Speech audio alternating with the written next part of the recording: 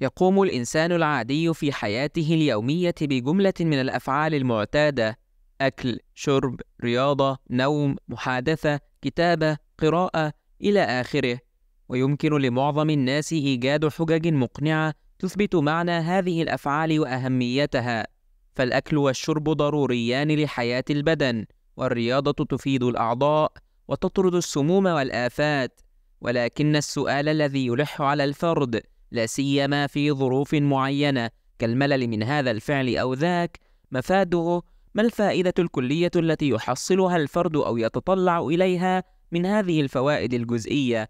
أو بعبارة أخرى ما المعنى الكلي الذي يقبع خلف هذه المعاني الجزئية كلها؟ كما أن الفرد يواجه في حياته اليومية أحداثا متنوعة كحركة الأشياء أو سلوك الناس من حوله أو تغيرات المناخ أو نحو ذلك ويجد في نفسه دافعا لإدراك معنى هذه الأحداث أو بعضها ويزداد هذا الدافع إلحاحا عند مواجهة الأحداث الغامضة أو العشوائية.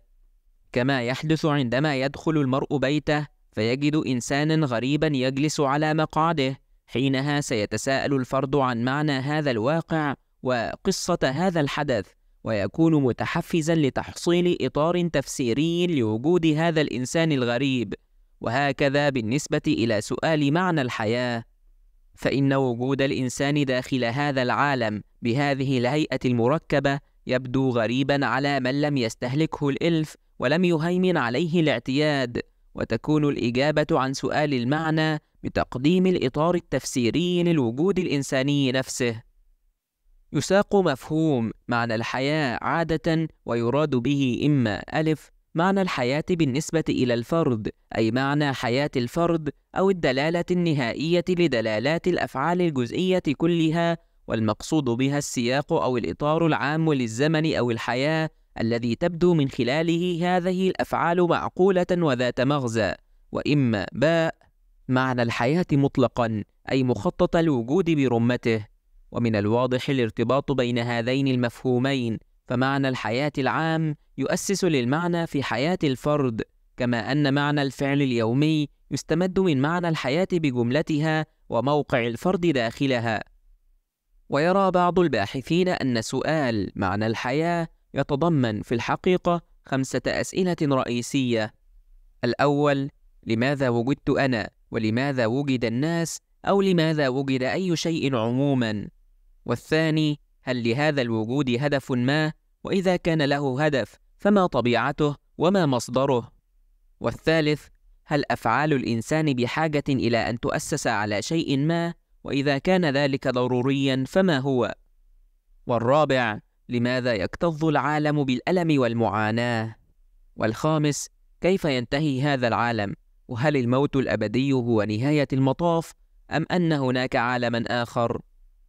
وهذه الأسئلة كما تلحظ تجمع تقريبا أهم الأسئلة الوجودية التي تشغل بال أي إنسان. وعند التدقيق نرى أن السؤال الثاني والثالث يقعان في صلب معنى الحياة. أما السؤال الأول فهو متضمن في السؤال الثاني تقريبا في حين أن سؤال الموت والألم يمثلان استطرادا ضروريا للإجابة عن سؤال المعنى ولذا سأتناولهما في مواضع لاحقة. وإذا أردنا تكثيف الشروحات وتلخيصها فسنقول إن معنى الحياة هو تفسير لما يعنيه أن يعيش الفرد حياته وما يمر به من أحداث ومواقف وما يمتلكه من أهداف وآمال يسعى لتحقيقها.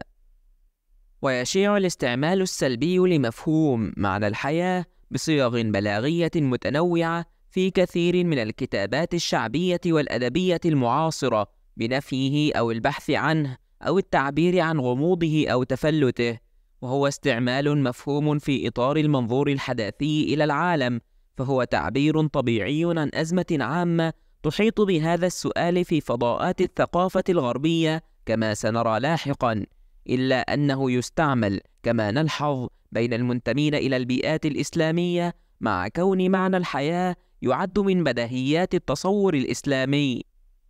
وعند التأمل سنجد أن هذا الاستعمال النافي لسؤال المعنى أو المتشكك فيه إما أن يكون تعبيرا عن الانخراط في التصور الحداثي نفسه والتأثر الفعلي بآثاره الناتجة عن تشوش الرؤية الكلية الدينية للعالم أو رفضها أو فقدان تأثيرها في السلوك أو تلاشيها من الشعور الجزئي كما يظهر لدى التيارات الأدبية العلمانية المتطرفة واللادينية. وإما أن يكون تعبيرا عن غياب دلالة الفعل المعين أو ضعفها أو اضطرابها وغموض الارتباط الدلالي بين الرؤية الكلية والمغزى العام من الوجود والحدث الجزئي. ومثال ذلك شكوى المرء من فقدان المعنى في عمل أو وظيفة ما وهو يعني أن هذه الوظيفة لا تلبي رغبته في الشعور بالإنجاز أو التأثير مثلا لضآلتها أو هامشيتها أو حتى عبثيتها. لا سيما إذا كانت تنتمي إلى بيئات العمل التي تكثر فيها البطالة المقنعة حين لا يكون شغلها مهما لأي شيء وكذلك الشأن في العلاقات مع الآخرين مثلا فالبحث عن علاقة ذات معنى يعني البحث عن ارتباط شخصي مع إنسان آخر يحقق غايات الصداقة أو الزواج المشروعة والمتعارف عليها.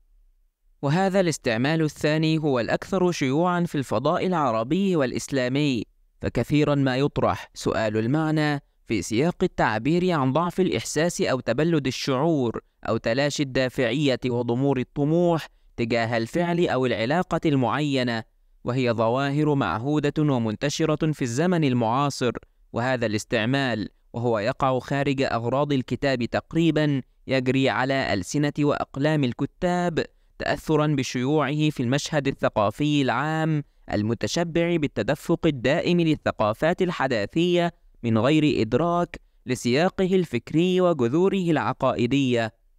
ومع ذلك فإثارة سؤال المعنى في الفضاء العربي ليس مجرد تقليد لفظي منزوع الدلالة بل هو يتقاطع أحيانا مع مظاهر عديدة لآثار أزمة المعنى في العالم المعاصر فضعف الاعتقاد الإيماني واستبعاد الأسباب والمؤثرات الغيبية وتراخي الصلة بالله تعالى تسهل من تشوش المعنى في الفعل اليومي كما أن الانغماس في المزاج الفرداني الجديد يضخم من قيمة المصلحة الذاتية وأهمية الشعور الداخلي المتوهج ومن ثم تكون الأفعال اليومية والعلاقات الشخصية عرضة لفقدان المعنى باستمرار.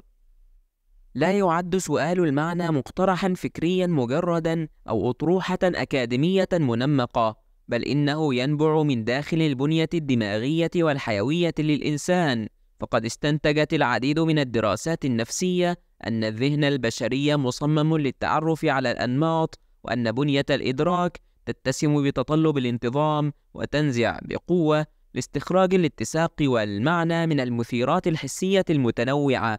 وهي تقوم بذلك وفقا لمبادئ عدة.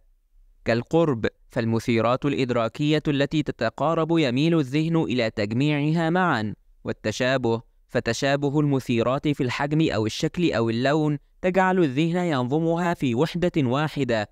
والإكمال فالذهن يميل إلى إغلاق الأشكال والمنحنيات والرسوم غير المكتملة مثلا كالمثلث الناقص ليدركه كشكل معروف مندرج ضمن فئة دلالية معهودة وهذا يقع حتى لصغار الأطفال وغير ذلك من المبادئ التي تساعد الذهن على إدراك الكل من خلال تجميع الأجزاء أو ملء الفراغات أو تخيلها. ويرى بعض علماء النفس أن هذه البنية الإدراكية الميالة لاستنباط المعنى فيما حولها تعود إلى أسباب تطورية، حيث إن بقاء الإنسان حيًا يرتبط بقدرته على اكتشاف الأنماط والعلاقات في بيئته المحيطة به والاستفادة من هذه المعرفة في معيشته اليومية وهو بحاجة ماسة إلى ما يسميه بعضهم أطر المعنى meaning frameworks وهي تمثيلات ذهنية أو مخططات للصلات الفعلية والمتوقعة بين الأشياء المختلفة في العالم. وهذه الأطر هي التي تجعل العالم مفهوما للفرد بمراكمة اكتشاف الترابطات والتشابهات والأسباب والمسببات داخل شبكة أو نظام من المعاني. وهذه القدرة تطورت مع نمو قدرات الإنسان العقلية بمرور الوقت وفقا للتصور التطوري وأدت أخيرا إلى بناء نماذج إدراكية أكثر دقة وتفصيلا إلى أن وصلت إلى ظاهرة الحياة نفسها لتثير السؤال الوجودي حول معنى الحياة برمتها. وبصرف النظر عن التفسير التطوري فالبحث عن المعنى عموما نزعة مغروسة في عمق الإنسان فالفرد ينزع إلى تبرير الوجود الذي يراه من حوله أو تسويغه لأنه يعتمد في وجوده على العالم والأشياء والأشخاص من حوله. وحاجته العميقة إلى ضمان هذه العلاقة مع العالم الخارجي تدفعه قسرا إلى البحث عن العناصر الدائمة المستقرة وراء الأحداث اليومية أو التجارب الإنسانية المنفصلة التي تفسر موقعه داخل التاريخ والعالم وتحدده له. وهذه الحاجة جزء أصيل في الوضع الإنساني التاريخي ومع اتصاف الإنسان بالقدرة الفائقة على التكيف على نحو يفوق مخيلة معظم الناس إلا أنه يعجز عن التكيف أو الرضا بموقف مبهم غامض حول طبيعة الأشياء والأحداث التي تحيط به ومعناها. لذا نجد ميلا إنسانيا عاما إلى الإيمان بأي نوع من المواقف الأيديولوجية إن كانت تفسر الأحداث والواقع بشكل منسجم أو تعبر عن سنن عامة تكمن وراءها وتسودها.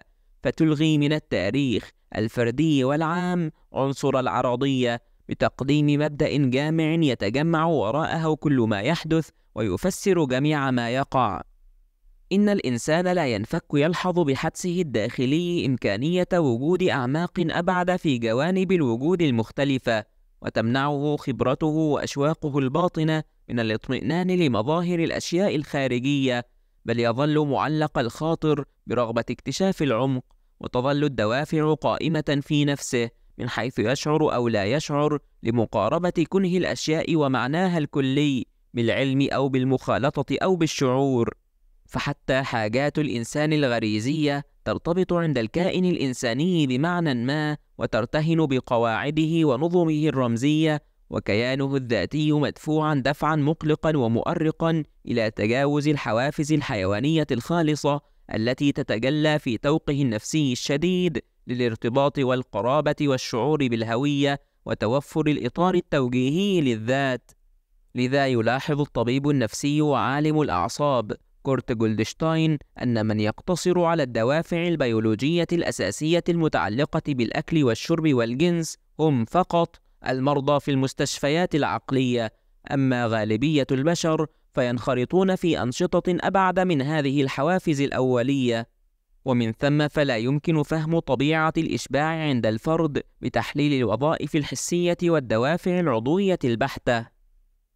ويرجع عالم الاجتماع الألماني ماكس فيبر أزمة المعنى في الحداثة إلى مسار تطورات العلمنة والعقلنة في تاريخ الغرب الحديث ويرى أن الفهم العلمي للعالم هو السبب في مسار نزع السحر عن العالم أو إلغاء التعظيم ومحو القداسة عن الكون لأن المعرفة التجريبية في شكل عقلاني قد حققت عملية نزع السحر عن العالم وتحويله إلى آلية سببية واستبعدت صلة الرب بالعالم ووقفت ضد ادعاءات المصادرة الأخلاقية بأن العالم كوسموس أو كون يأخذ نظامه من الله ومن ثم فهو عالم موجه على نحو له معنى أخلاقي مهما كان شكله.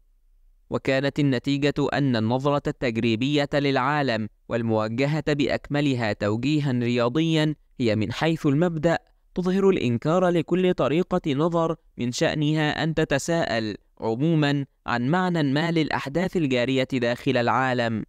ويذكر فيبر الطب مثالا على ذلك يقول إن المفترضات العامة للمنشأة الطبية هي تأكيد مهمة الإبقاء على الحياة البحتة والتقليل أقصى ما يمكن من الألم البحت. أما ما إذا كانت الحياة تستحق الحياة ومتى فإن الطب لا يسأل عن ذلك. وكل علوم الطبيعة إنما تمنحنا الإجابة عن سؤال ماذا يجب علينا أن نصنع متى ما أردنا أن نسيطر تقنيا على الحياة؟ أما سؤال أخلاقية هذه السيطرة وحدودها وهل لها في نهاية المطاف معنى ما فهي تترك هذا الأمر غير محسوم تماما أو هي تفترضه سلفا من أجل غاياتها الخاصة؟ وقد تبلورت معظم العلوم الحديثة في النصف الثاني من القرن التاسع عشر وهي الفترة التي شهدت سيادة النزعة الوضعية والعقلانية المتطرفة في مناهج العلوم. ومع دخول القرن العشرين واندلاع الحروب الهائلة وتزايد المخاطر التي أضحت تحيط بالبشرية جمعاء لا سيما مخاطر التقنية وتطور التسليح الذري تصاعدت موجة تعادي أو تشكك في المنتج العلمي الوضعي لتجاهله وإقصائه للأسئلة الأساسية للكائن البشري. ويأتي كتاب الفيلسوف الألماني إدموند هوسرل أزمة العلوم الأوروبية ليعبر بدقة عن ملامح هذه الموجة. يقول كثيرا ما نسمع أن هذا العلم ليس لديه ما يقوله لنا في المحنة التي تلم بحياتنا. إنه يقصي مبدئيا تلك الأسئلة بالذات التي تعتبر هي الأسئلة الحياتية الملحة بالنسبة للإنسان المعرض في أزمتنا المشؤومة لتحولات مصيرية. الأسئلة المتعلقة بمعنى هذا الوجود البشري أو لا معناه؟ هل يمكن أن يكون هناك عموما معنى في هذا العالم الذي تحطمت فيه كل الأنظمة الحياتية التي تسندنا وانحلت فيه كل الروابط الداخلية؟ هل يمكن أن نعيش دون أن نستوثق من معنى مطلق لوجودنا وللعالم له صلاحية أزلية؟ كل هذه الأسئلة المتعلقة بالإنسان تقصيها العلوم الوضعية. لا يعبر هذا الموقف عن اتهام فلسفي متحيز بل إن كثيرا من المختصين في العلوم التجريبية يعترفون بغربة العلوم عن أسئلة المعنى كما يقول الفيزيائي إيرفين شرودنجز إن العلم لا يعرف شيئا عن الجمال والقبح والجيد والرديء والله والأبدية. وحتى حين يقدم العلم إجابات يظهر أن هذه الإجابات سخيفة جدا يصعب التعامل معها بجدية. ويؤكد عالم البيولوجيا بيتر مدوار أن العلم عاجز عن الإجابة على أسئلة الأطفال الأولية المتعلقة بالأمور النهائية كيف بدأ كل شيء؟ لماذا نحن هنا؟ ما الغاية من الحياة؟ كما لا يملك العلم التجريبي الإجابة عن السؤال المحير لماذا يوجد شيء بدلا عن لا شيء؟ وهو السؤال الأساسي للميتافيزيقية برمتها كما يرى مارتن هايدجر